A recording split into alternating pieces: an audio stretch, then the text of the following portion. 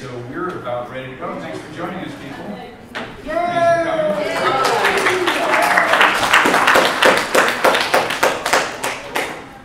I had a total heart attack. Uh, I just flew in from Montreal. My, my calendar had the wrong uh, had the wrong uh, time zone, and uh, at 11:10 this morning, I looked at my calendar and it said the this panel was happening at 11 a.m.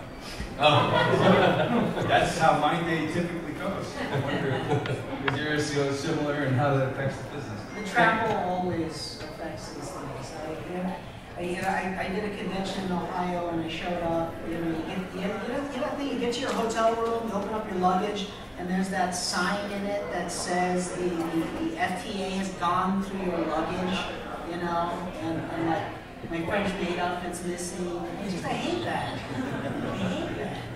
All those rubber toys. Left the heels, so. Okay, so uh, thanks for coming, folks. My name is Lorne Lanning. I'm probably the lowest paid voice actor on this panel. And, and that's, I'm certain not an exaggeration. And uh, I'm going to allow these gentlemen to introduce themselves real quickly. I, I know you've probably read some of the uh, uh, what the information is in the brochures for the event, but you've got some really great talent here that have done some really great things. I'm going to move with Dominic. Why, hello there. My name is Dino Andrade, and I am a voice actor. Which is to say that I perform all the voices you hear on radio, television, theater, video games. Not all of them, of course, no. Only the good ones. Hello, hi, I'm Dino Andrade. I'm a voice actor. I'm the, uh, I'm, uh, let's see, I a scarecrow. I was the uh, Scarecrow in Batman Arkham Asylum.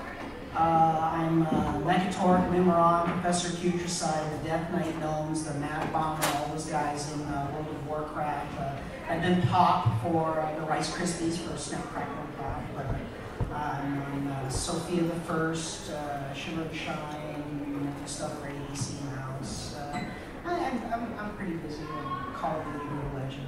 I do a lot of stuff. So, that's me. Done. Cool. Hi, everyone. I don't have that same introduction. No, I don't have that. That was nice. Uh, my name is Dominic Catrambone. Um, most recently, you maybe uh, maybe heard me on uh, Teenage Mutant Ninja Turtles playing Leonardo. Uh, I was that guy who was between Jason Biggs and the other one that's on there. Seth Green. Uh, fan Seth Green. Nothing against him. Um, they uh, they needed to replace Jason Biggs, and uh, they needed somebody who could come in and sound like him and keep that character consistent. So I got an opportunity to do that. Uh, I did 32 episodes with them, um, eight as uh, as Leonardo on my own. I'm on many other things, video games. If you go to Florida, I think it's uh, doing some interactive stuff with them, and toys, and all sorts of fun stuff. So it was really really an amazing ride uh, to be able to, to, have an opportunity to do that.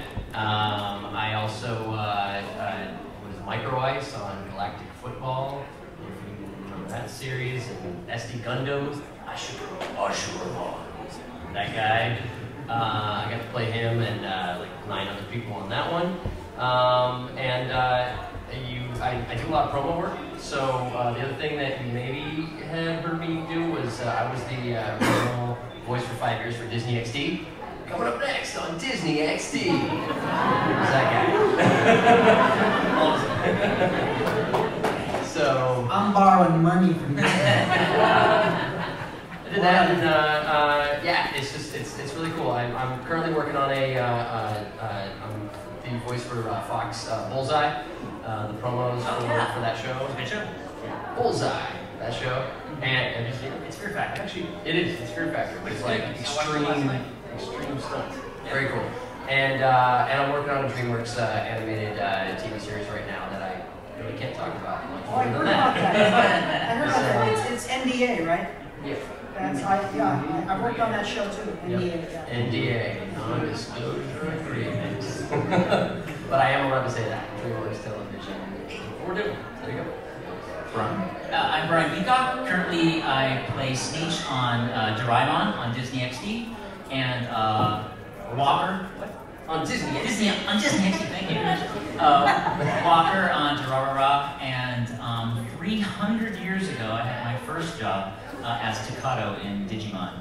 Digimon Tamers. Um, Himachika on Bleach, and Sakon uh, Ukon on um, Naruto, and uh, Battle Beat'em all kinds of stuff. Um, currently, I'm heard in a bunch of uh, elevators in the Midwest or um, terrible uh, local car commercials, things like that.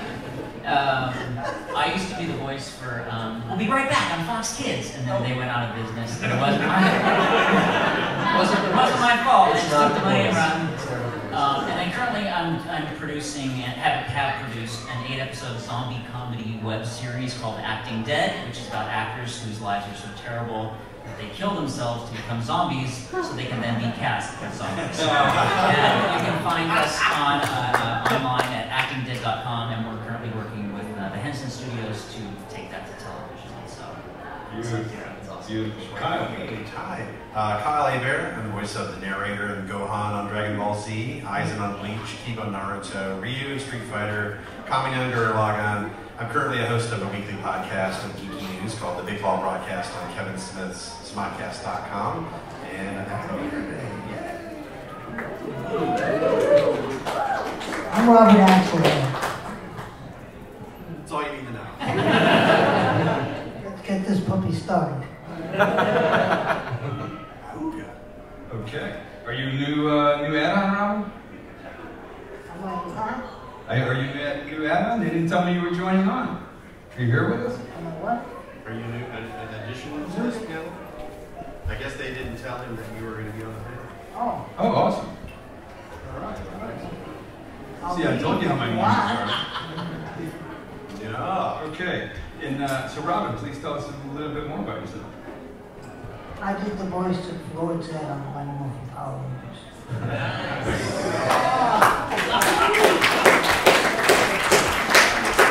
About a more films.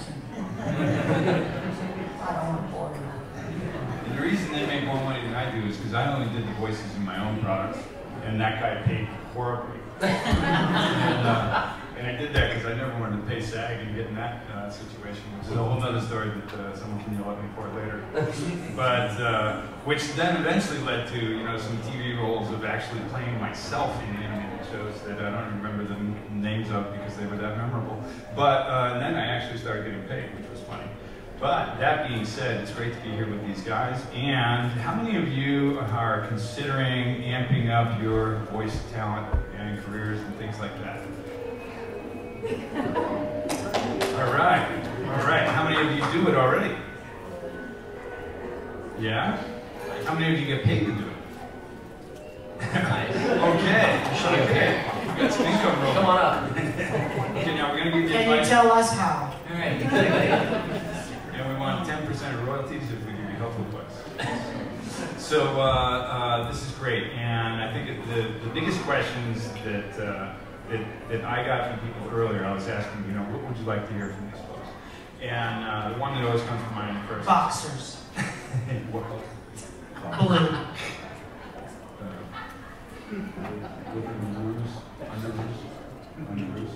Dodger logo on So when did you guys realize that you might one day be a voiceover? That you might one day be doing character voices? When was the when did it occur to you? When you were children? When you stepped into the wrong room for a job application? What happened? I can answer that. Yep. I was doing an on-camera job, uh, a children's after-school special in 1980, and in the next studio they were doing a anime, uh, a series called Banner of the Squirrel for very young kids. So I, I went in and uh, asked the director if I could audition. I said, I'm working next door. Uh, she said, sure. So I got the role of Banner the Squirrel, and that's what started it. And I was lucky enough, it was lucky enough to be a time when anime was just starting to blossom in Los Angeles. So uh, it snowballed from there.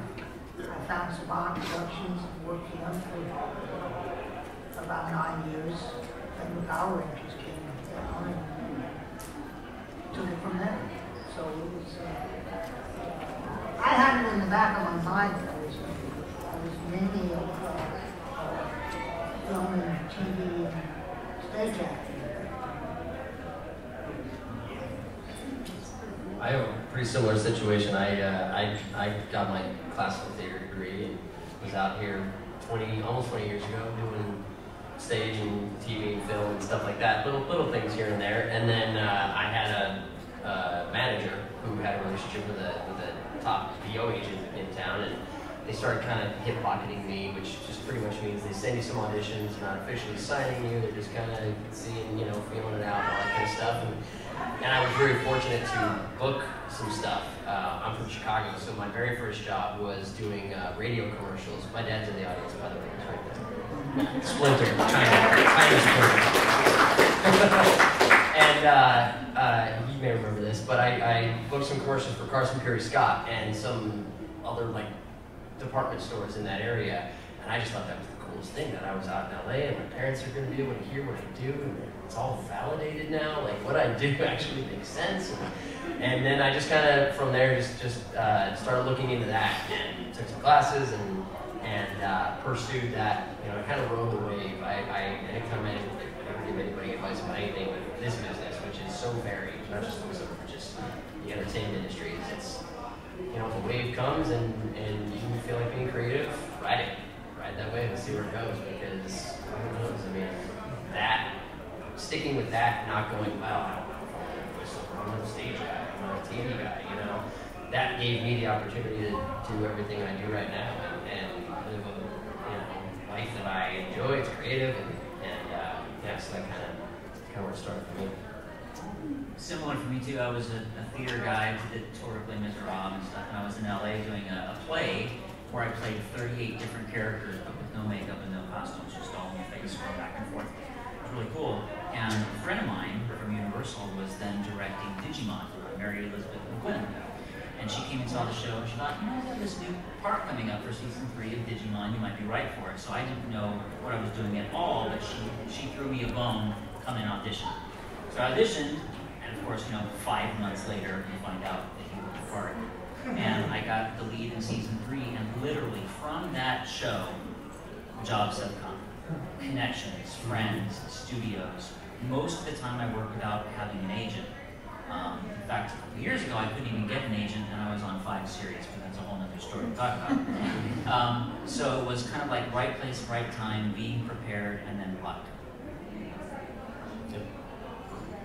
When I was a when I was a kid, I, I became fascinated with uh, audio production from the creative side, not the technical end, the whole writing and performing uh, and so on. Uh, one of the things my, my parents used to collect, I'll give away my eight tracks of of uh, old radio shows, uh, the, the Abbott Costello shows, The Life of Riley, all these things that I, I still love listening. In fact, I still do. I can find a lot of them online now.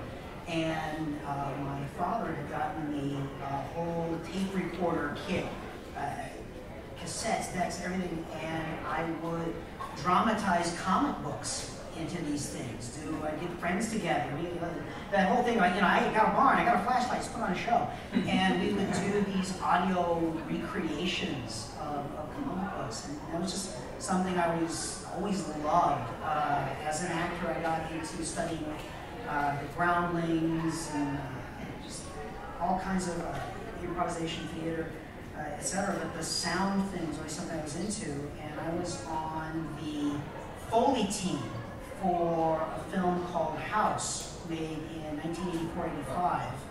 Uh, it's a horror film with Richard Moll uh, and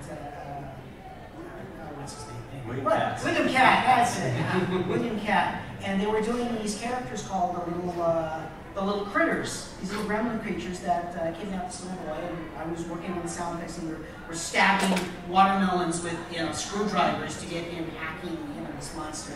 And uh, the director, Steve Miner, didn't have anything to do the little critters, and I did them. I just, I just stood up, and they're like, "That's it, do that." And that's where it all started for me. And I've been doing voice ever since. So, Dino, can we get a, uh, a edit?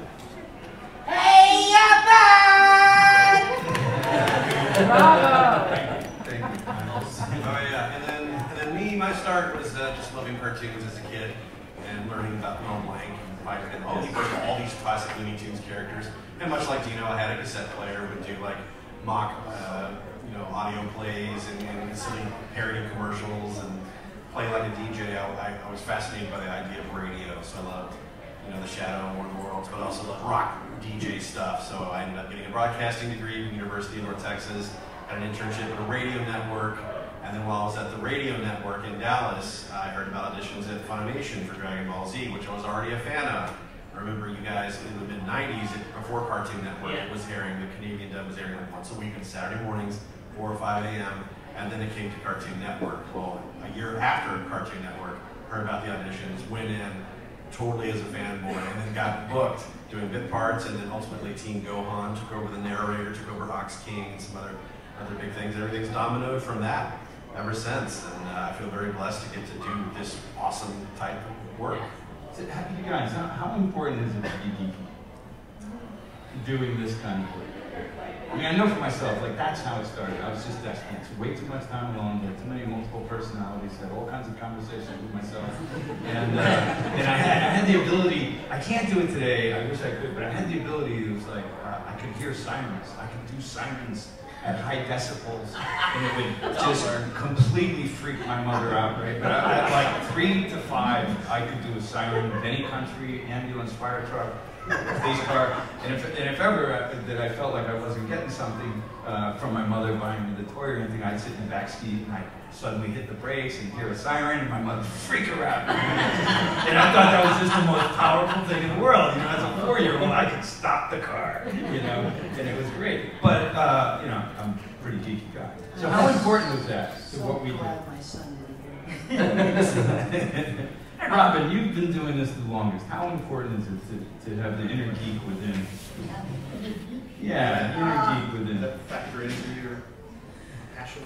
Sure, sure. You gotta tap in. There's so many different parts you can play as a voiceover artist because you don't have to look the role. So uh, uh, you need to be able to tap into a lot of different inner personalities. You don't have to be schizophrenic. into, uh, I'm just getting over laryngitis, so to speak. But you have to tap into uh, inner channels of, of different characters, so it's, it's feelable. The geekier the better. I- I'd have to agree with that. I mean, the, the most important thing of all is to be a, a skilled actor. That's not, because you've got to bring these characters to life. And if you're not a geek, but you're a skilled actor, you're, you're, you're ahead of the game. But if you, if you are a geek, it gives you an advantage because more than any other discipline of acting, we live entirely in the Twilight Zone's dimension of imagination. We have nothing to inform our performances. We don't work on sets. We don't wear costumes. We don't carry props. We don't wear makeup. It all has to be in here. Being a lifelong fan of science fiction, horror, and fantasy, I'm already open to great works of imagination.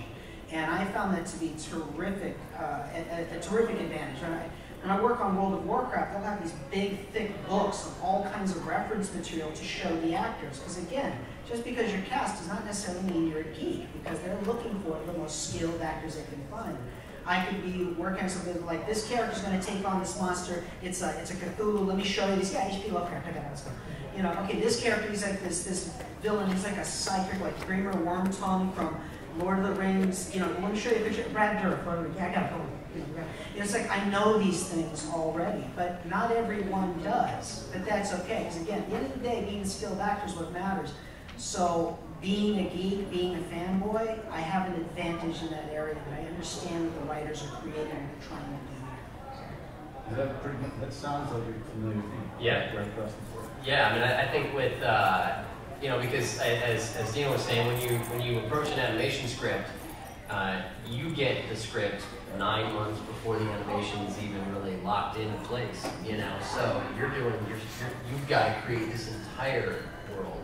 You know, your imagination is so um, at its peak, I guess, in that room because you're also informing. I think the, you know the, the other thing is that you're informing the animators uh, uh, quite a lot about what they can do and, and how they how they envision you know the, the scenes going eh, visually.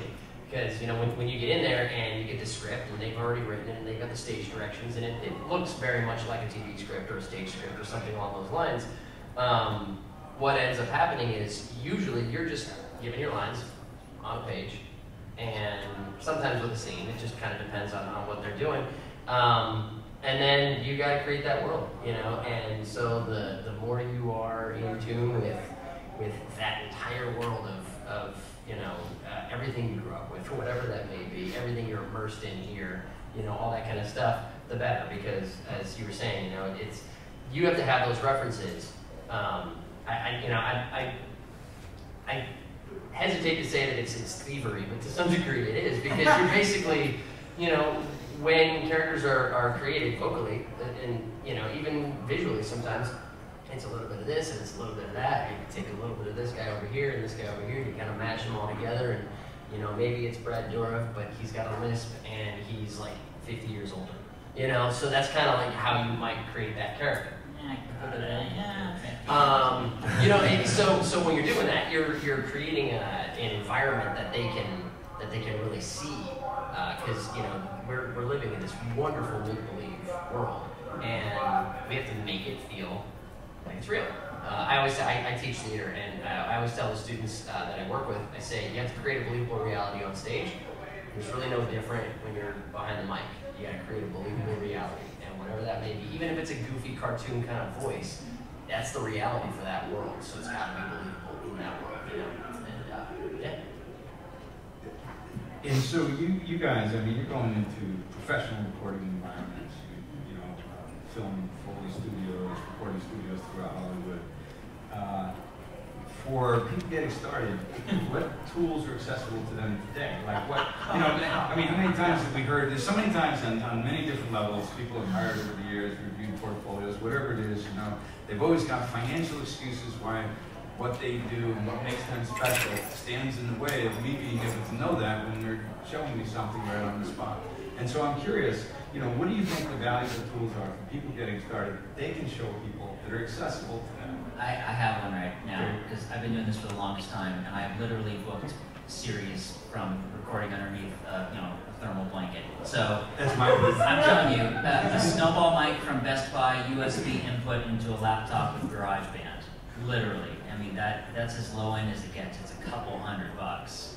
Um, currently, my apartment makes a lot of noise, so I'm recording in my new Hyundai Elantra GT. um, um, but literally, there people do micro recorders that are really good. Apparently, I don't know the names, maybe they do, but there's really no excuse. Yeah. If, if, you've got the voice, you can get everything else. I actually did. Uh, uh, Fox needed. I, I, had recorded something. I left home. I, I was recording at home. I left home, and they called me like 45 minutes later in a, in a panic. we, we completely forgot one tag, like coming like coming tomorrow night on you know whatever. And and so I had Twisted Wave, which is an application in my iPhone, and I literally just put a blanket over my head in the car, recorded into my iPhone, sent it to them. They were like, "It's perfect." I idea where I was. I was tell them that it's a ten dollar app on an iPhone. I don't really. It's available on Android, but Twisted Wave. Mm-hmm. Uh, there's a free app on, on desktop called Audacity, which is free and you get what you pay for. Sometimes it crashes, but it's reliable. I use that at home. I use something called the Apogee mic, which plugs directly into iPhone, has a lightning connector. It also comes with a USB. And it is a USB mic, so you can plug it into laptops and desktops and everything. Uh, your recording environment, obviously, you need something that's going to deaden the sound. So something like this where the voice is echoing off the walls, this would never be submittable as an audition. But something quiet, like a closet, something that absorbs sound, like boxes, clothes, putting a blanket over your head. Yep. You know, yeah, you look like an idiot, but I mean, it works. And it, sometimes yeah, in, go, to, car. yeah, go to Target, get one of those rolling wardrobes, throw a furniture blanket over behind you, got a bathroom. There you go. There you go. There's no reason why you have to spend, you know, tens of thousands of dollars to have a decent recording environment for an audition. For a session, yeah, it's a little requirement here. But you're going to need the audition before you get to the session. Right. Yeah, exactly. Right. So, but yeah, I mean, all the, the resources are out there. I mean, that's just it. It's, it's, it's such a, I think with technology, especially nowadays, I mean, it's so advanced that yeah, you can do it almost anywhere. You just need a good environment and a decent enough mic that's going to make it sound good, uh, you know, with, with high quality. But yeah, I mean, I've, I've toiletry kit thing and took all the stuff out of it, and that's my case. And uh, and and I'll set up at a desk and clamp it in and hold the cover over it, do the thing, pull it back, breathe a little bit, and it, it works. Yeah. And so over the years, so uh, you know, I started laying voices to to tracks in '90, and Robin, you said you started in '80, and at that time we didn't have the, these tools for accessibility, right? It was a little harder. No, it, it was uh, go to your agents and they they have a studio uh, uh, recording and go audition at your agents. You do it at home. And so today, if we're, we're saying, okay, so with the accessibility of low-cost tools, uh, you really don't have a prohibit, you don't have a reasonable prohibitor to say, I just can't tell you, uh, I can't, I can't have you listen to what I do. So if they are going to be showing people uh, material, having people listen, what should they put together with those tools that they do have access to? Well, first I would say, uh, for me, I think get in a class. Yeah. Get in a class, you know, I think because of the fact that it's also so accessible right now, you're up against tens of hundreds of thousands of people who have the same access, you know? Um, and the way to get past that is get training, you know, With without connections from that class. and the connections from that class. You know, you're going to go to the, in town here, especially. There's there's some great voiceover studios that uh, offer classes. You know, the casting places are kind of becoming a dying breed, but they're still there, and they have great classes available uh, in, in those. I Um, teach accounting. Accountant, accountant, voicecaster, um, casting. Like, there's a number of places, but I would say get in the class because you got to know what your voice can do. You got to know what you're capable of. You got to know how you sound behind a microphone. You know, when you get the headphones on, it does sound different than being that much more prepared. Yeah, you want to be as trained as possible. I mean, it's a completely different world. If Steven Spielberg is casting in a movie, who's going to get the lead in it? You know, Johnny Depp or me? Well, I'm not even going to get to read for the Steven Spielberg movie. It's going to be bad. But if it's a cornflakes commercial, who's going to get it? Me or Johnny Depp? Johnny Depp doesn't read for cornflakes commercials. But in the world of voiceover, uh, I'm speaking strict, strictly on camera there. In the world of voiceover, however, um, it's not about our celebrity. Our, our, our experience, everything brings us all to the same table. And you're reading up against voiceover's equivalent of Johnny Depp or Tom Hanks or whatever, reading for the Cornflakes commercials. You, it, it's all about the best actor you can it really is. We have to be as trained as possible. And so how important is the voice, you know, the voice, right? We all, we've all heard of the voice. Uh, the guy who does all the Carpenter, I don't even know his name, the voice is what I always hear him to. How is it important to, to nurture the voice versus multiple personalities versus having, you know, Kyle, you do a lot of, uh, you do a wide range of, of characters. How, how important do you think is the diversity of cast that you're presenting yourself as capable of doing? Uh, well, I mean, it's, I mean, here, here's the thing. A lot of people will, will, will come at this and they're trying to get in the industry going, well, you know, I don't have a million voices, so I'm not cut out to do this. It's like, but there are so many people who have their own niche thing. It's like there's people that use their natural speaking voice all the time and then they're able to make a lucrative career out of it. Other people get called in to, u- to do what they call the utility voices, you know, the background things. I frequently get calls for games and anime and everything to, to be the guy who fills in all the background characters because they got to get the production done. They already had the main cast record. What's left? Soldier A and Demon C and all that. So, and a lot of us all come in for, for those things. We may come in for a major role, and then at the end of the session, they'll come in and have us do that. So, uh, uh, having a wide range of acting uh, ability, of course, I think is far more key than having the voices thing because everyone has their their part. Everyone has something that they can do, and they'll always depend on that particular person to do it, and they're going to come to you for your strengths. So don't think that you have to you have to be a jack of, all trades to be a successful voice actor. Yeah, yeah, and I think nowadays too. I mean, at least I, in working commercially, it's so varied now that you know they don't even want people who sound like they do voiceover.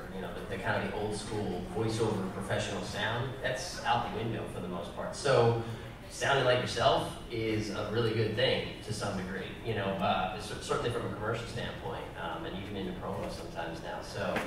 I think it's it's less. It's even become less important that that the voice. You know, you hear a lot of people, great voice, you should do voiceover, and it's like, okay, what can you do with the voice? That's really ultimately what it is. So It's not about your voice, not at all about your voice. It's about creating characters and making that character live off the page. If, if you can do many voices, if you're a multi-voice, I'm a multi-voice character actor, that's an advantage. But that doesn't have to be the, I mean, Lorenzo Music, for God's sake. Everything Lorenzo Music did pretty much sounded like this, and my God, the man had one hell of a career. Okay, can I say something? Can I, Yeah. Is here's something that really annoys me about animated films. Right? I see a raccoon or something, I see a character, and then I hear Bruce Willis. Right. Honestly, that shit just pisses me off. As a, as a, as a fan voice, I'm like, no, where's Mel Blanc? You know, where's the people? That was the guy, right? Mel Blanc. You know, you guys mentioned him earlier, and that was my just just complete mind blowing, you know, sort of.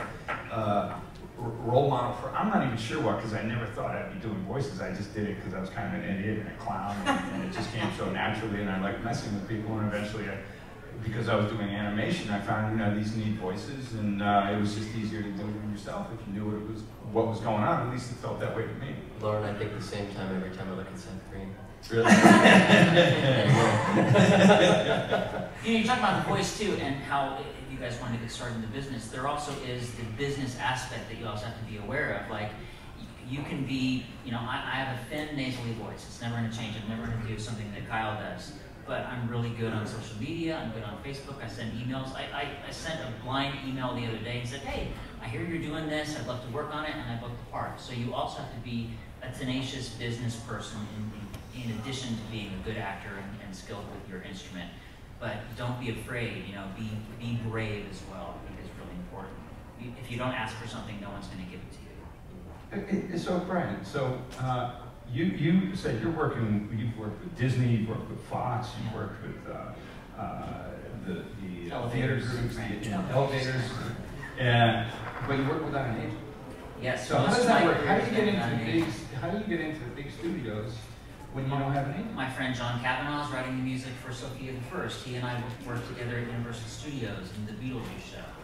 Or it's uh, when you're a thousand years old, like I am. like you, you know people. You know what I mean? It helps. And again, people want to work with you. You want to be a good guy. You want to be a good business person, fast, responsible. So um, it is more difficult without having an agent. You know, but so far I'm doing okay as long as they pay me for the day. Do you know? yes. Dominic, Dominic, you've got an agent? Yeah. Yeah. Dino's got an agent. Dominic's got an agent. Kyle? Yeah, yeah, yeah. Kyle? Robin? Do you have an agent? Agents. I'm- Yeah. Yeah, you have an agent. So So just we don't me. have agents. Yeah. So the- we're not get, they're not getting the ten percent of the stuff, the other stuff we're not making. Yeah. 10% Yeah. And how do you feel about giving, uh, is it ten percent that your agents are getting, guys? And how do you feel about On giving? what they get, um, Yeah. Yeah, right. they have to get the part, the job. Uh-huh. I get the job yeah. myself, they don't see it. Good for Yeah. you. Yes, yeah, in the industry contacts, I, the thing with me, I, I, most of the work I book is through industry contacts, but it's still advantageous because I don't have access to, to top level studio, Warner Brothers, Disney type, um, you know, auditions. I wish it worked that way, but it's just not that simple. What's that? It's just basically scale, capacity, need, quickness. They just don't want to deal with a bunch of individuals. They'd rather call one agency and say, send us your best of this. Exactly. Yeah. Convenience. Yeah, and I also think that I, I think when you're, you know, uh, Ryan's side, I think the, the industry, I, I think ideal is, you know, they think, you know, I mean, by going to an agency or a management, you know, Yeah. company, they know they're going to get what they're looking for. You know, I think that's the thing too, is that, you know, I mean, you've obviously been incredibly successful, and that's that's great. And I think that the, the tricky thing is, you know, when those projects come about, you know, they don't have time to go through the thousands of submissions they may get that are just kind of on a whim because they don't know where, like, which ones to believe, and do I spend my time listening to this one over here, this one over here? But if they go these top five agencies, I'm gonna get 25 auditions total. They know that they can book one of those 25 probably. You And know, most likely. Even within those agencies, there's the upper echelon of people that are booking, so you can have an agent and still be struggling and scraping to Mhm. get the calls. So- I used to be with CAA. I, I wouldn't know anything about that. Yeah, yeah, it's, it varied.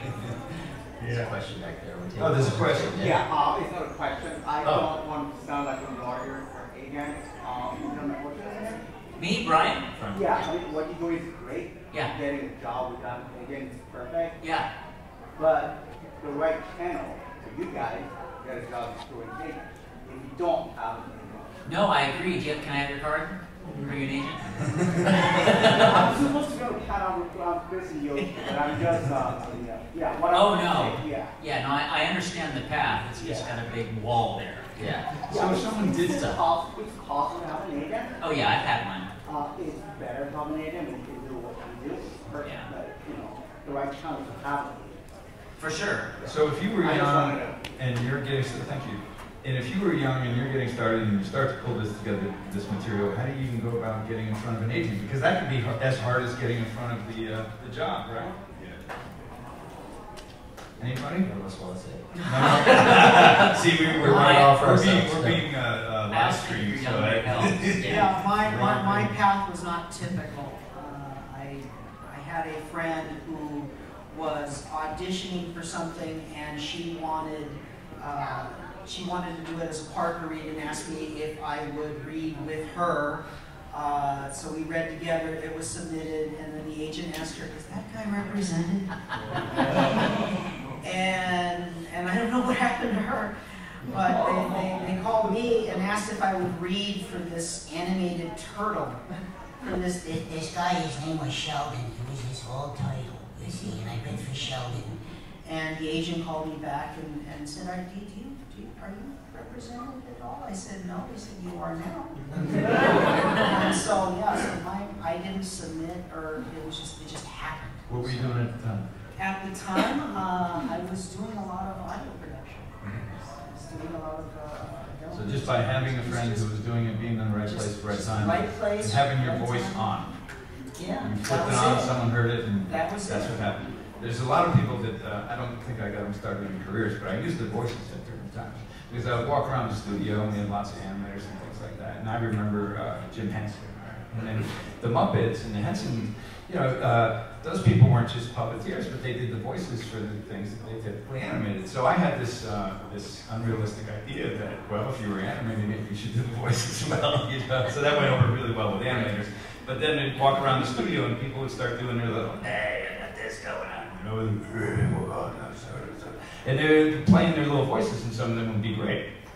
And it's like you, you're getting in the booth, and then, and then all of a sudden it's stage fright, right? Right. So now that you could hear this, they don't think anyone's really paying attention, and they do fabulous voices, but then they get in front of the mic, and what happens? And and then they freeze up because they feel like people are watching, they feel self-conscious now, and that doesn't lead to very good voice acting, right? So, uh, and that's uh, apparently about the number one public fear is public speaking, if I'm correct. Yeah. So, so how does that happen? So it's one thing you might do great voices, you know, in the shower, and you might cut together great real voices, but then you're going to go in and you're going to audition, and and now the lights are on, you're being watched. How's that? How do you deal with that? It's training. It, it comes down to training and just having done it so much that it becomes fun. You just try to have fun. Nail the character and try to have fun. I do a lot of on-camera auditions, and it's the same thing. Uh, you go in there, you make a, make a couple of friends, and you have fun with the character. If you get the part, fine. If you don't, well, it's their loss. It, Yeah. uh, uh, and that's the name of the game. Yeah. training for sure. You know, I, uh, as I mentioned before, I, I teach theater, and uh, you know, I always we always tell the students who who are rehearsing or auditioning for anything that that, that they're doing, it's you know, approach it as if that's the job, and then when you get paid to do the job, it's even more fun. you know, but start looking at it that way and put yourself in those in that in that position, and that's kind of one of the ways to kind of to to get past that frightful thing is ownership. You know, but as as as he was saying over there, it's like, you know, it's training, it's rehearsal. You know, sometimes you don't get an opportunity to rehearse something very much in, in our line of work. You know, you really How often do you feel you're just laid right on the spot with that? Happens a 90, 90 plus percent of the time, yeah. Most of the time. Yeah, usually you're going to be given a script, whatever that is, and You know, if a commercial, whatever, they'll just hand it to you right there, and you'll have they'll just throw you in the booth and off you go, and, and then you start playing with them. I always kind of look at like if you have the job already, I always kind of look at, at it and go, I already got the gig. They already like what I do, so pressure gone, mm-hmm. right? That pressure's out. Now I can just play with the producers or whoever's in there, you know, creative people in the room, because I've already got the gig. Like, you know, I mean, I guess I could lose it by really sucking, but you know, I, you know, I've already gotten that opportunity to be there. And you know what? If you if that happens to you, if you do lose a job in the middle, it does not mean that's the end of your career. You know, I, I I learned to have as a life model that I have the option to fail, but never to quit. Hmm. By knowing that, I know that any time I fail, it's a learning experience. I have to learn from it and move on. And, and, and that's why when I hear somebody say failure is not an option, I think, oh, they're in so much trouble. because the first time you fail, you'll think that's it, it's over. Right? Yeah. Right. Yeah, and it's such a competitive field that, you know, the odds of you getting hired are pretty staggering. Like, say you might get hired for one out of every hundred things you audition for. Sometimes it's that ludicrous. It's that, you know, and you think to yourself, okay, oh my God. But you do the best you can in each audition because think of it as, oh, hey, I'm one closer to that one. Mm-hmm. As opposed to, oh, they're never going to hire me. Because your lack of confidence will come through in the audition. Yeah. You have to go in there and treat the audition as the job. You have to love it so much and showcase to that casting person why they should hire you. Because even if they don't hire you for that project, they'll see the passion in your eyes, how, how well you take direction, and how good you are because you've taken your acting classes and everything. That they'll remember you. Put a little asterisk next to your name and call you in. You'll be on their short list for the auditions in the future. That's worth its weight in gold. Yes. More so than just booking the part. I mean, I, I, I know I know producers that I've worked with who I auditioned for multiple times. Maybe I worked with them once a couple years ago, and and you know they kind of go away, and you don't really hear from them, and then you get a job, and you go in the studio, and you're like, oh hey, I remember you, and they're like, yeah.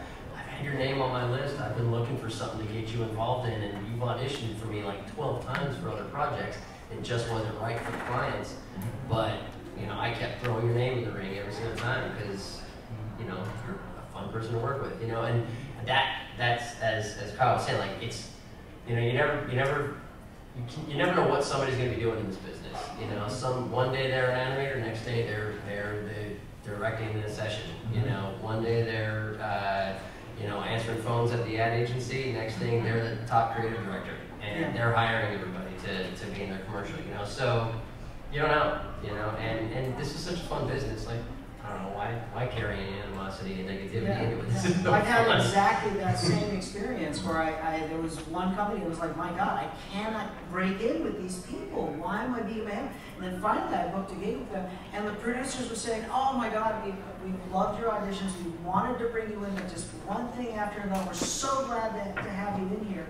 And here I'm thinking these people hate me. They never do it. And now I find out, you know, oh my God, they, they've always wanted to bring me in. That's that's wonderful, you know. I mean, and you think about, you know, Bryan Cranston when he said, "I used to think that my job was to get a job, and it's not. That's the job of the casting director, the producer, and those guys who give you a job." He said, and, and I absolutely agree with him. My job is to create a compelling character.